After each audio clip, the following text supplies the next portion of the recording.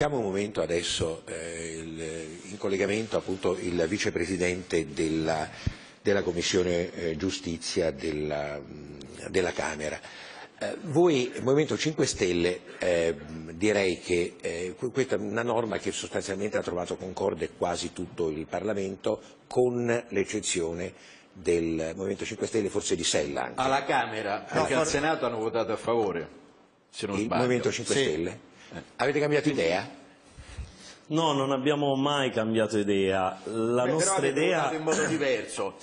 La nostra idea, voglio specificare che Prego. la nostra idea era quella di fare una buona legge che tutelasse i cittadini dai casi di mala giustizia, perché certi episodi, certe tragedie che si sono consumate nelle aule di tribunale non si debbano più ripetere.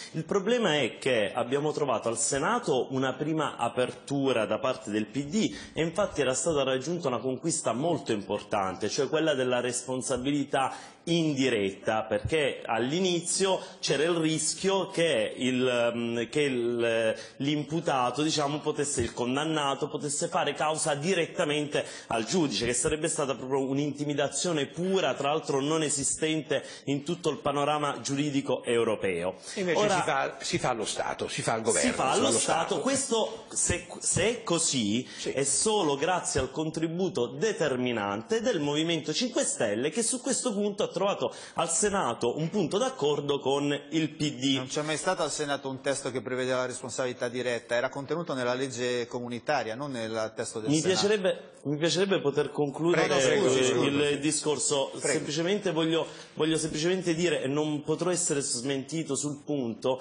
che al- alla Camera è arrivato un provvedimento che prevedeva la responsabilità diretta del magistrato e il PD non è riuscito a sostenere la responsabilità indiretta ed è andato sotto. Questo è inconfutabile. sì. Sto dicendo semplicemente che su un punto di buonsenso il PD e il Movimento 5 Stelle avevano trovato un punto d'accordo. Eh, alla perché alla Camera, Camera? Alla Camera Camera la norma doveva contro? essere migliorata. Allora, il punto qual è, dottor Vespa? Noi siamo in un paese in cui eh, si contano eh, un furto ogni due minuti. Siamo in un paese che è in ginocchio per la criminalità organizzata e la corruzione. Cito un dato su tutto, 16 miliardi di euro di investimenti persi negli ultimi sei anni a causa della corruzione, dati della Banca d'Italia. Ora, di fronte a un paese di questo tipo che è primo in Europa per corruzione, noi non possiamo permetterci che un magistrato per tutto il processo viva in una condizione di incertezza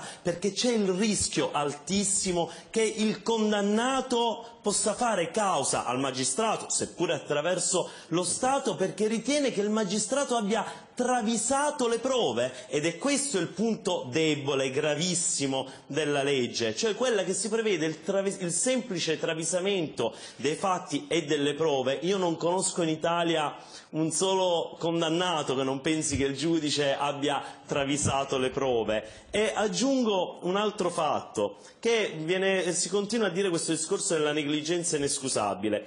Vede, la legge sul punto è molto chiara, voi l'avete mostrato nello schema. Il travisamento dei fatti e delle prove non deve essere grave, perché già per legge è considerato colpa grave, cioè la legge dice ogni volta che c'è un travisamento quello è colpa grave. Quindi il riferimento a quella che il ministro Orlando chiama eh, colpa gravissima, non so, sarebbe un istituto nuovo mai conosciuto né ai tempi della Aquilia del diritto romano né col Code Napoleon eh, francese, che immagino non disponevano delle menti illuminate che adesso invece sono presenti all'interno della maggioranza. Però dal mio punto di vista bastava fare una cosa semplicissima, che era la proposta del 5 Stelle, togliere il riferimento al travisamento dei fatti e delle prove, oppure, perché eravamo disponibili in questo a raggiungere un accordo, che venisse inserito che il travisamento deve essere grave, che deve essere manifesto. Potremmo evitare un'esplosione di cause, potremmo evitare il fatto che qualsiasi condannato in Italia si ritenga legittimato a fare causa a un magistrato, perché altrimenti stiamo guardando il mondo al contrario. Noi, eh, perché guardi, poi questione mi- di mi- priorità mi scusi, mi di- scusi, di onorevole, un'agenda lei ha politica. citato finisco, anche lei- finisco davvero dottor Vespa mi Prego. scusi è una questione di priorità per noi la priorità è il pacchetto anticorruzione Vabbè, è il vabbè. reddito di cittadinanza qui Questo, invece dall'altra se, parte se permette onorevole, questo, si, si questo si chiama in termine tecnico benaltrismo. Ogni volta che uno non vuole una cosa si dice ci sarebbe ben altro da fare. Il fatto che ci siano le cose che lei ha riconosciuto, la corruzione e tutto il resto, non significa che non si debbano fare anche altre cose. Poi io non entro nel merito se siano giuste o ingiuste, ma è inutile dire ah, ma ci sarebbe ben altro da fare, perché in questo modo non, non è che facendo questo dice allora d'accordo. facciamo la responsabilità dei magistrati e non perseguiamo più i corrotti. Eh, insomma, non, è, No, non no, mi no, questa sono, la scelta. sono insomma. perfettamente d'accordo, Eh. infatti non facevo un discorso eh, il- cioè, per cui la legge non si doveva fare, sto dicendo che proprio perché ci sono tante cose da fare, scegliere quale No, fare per no, primo questo- mi dà l'idea dell'agenda politica di un governo e se l'anticorruzione oggi per l'ennesima volta slitta di altre due settimane, io l'idea di quali siano le priorità di questo governo Beh. ce l'ho e mi sembra che non siano quelle dell'anticorruzione, bensì fare una legge che oggi è intimidatoria nei confronti della magistratura.